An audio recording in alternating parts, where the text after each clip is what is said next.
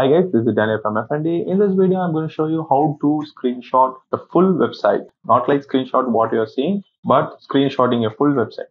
So let's get started.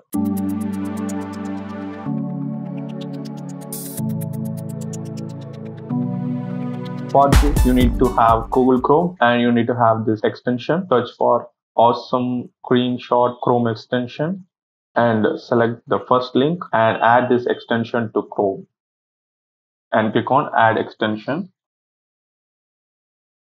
You can sign in with Google, but I'm not going to do that.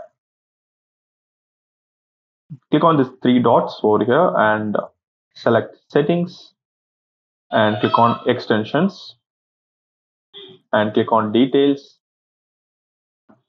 Click on extension options and you can see the capture shortcuts to only capture the visible part. You can use this shortcut key and if you want to screenshot the selected area you can use this. And for full page you can use this. You can also change the shortcuts.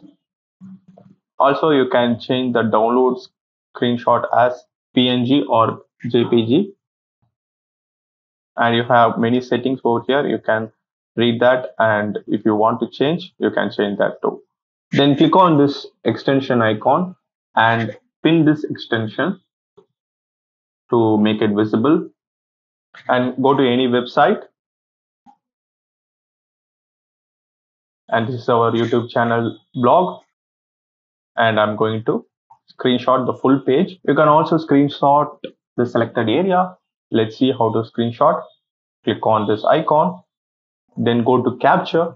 And you can select visible part full page or selected area. I'm going to select full page and you need to save image to local. Then click on full page. It will start capturing the website page. After that you can see our website page is captured.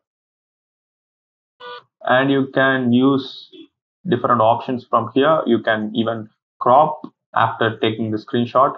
Like you can crop this portion only you can do that.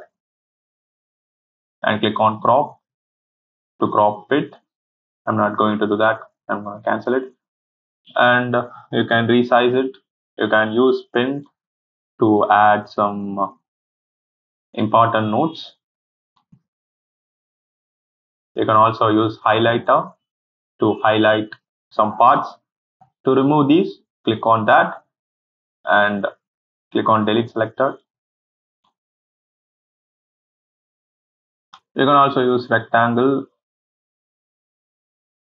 or you can use arrow or you can use text and you can also use blur tool. And these options are for pro users. So you can uh, upgrade to access these uh, tools.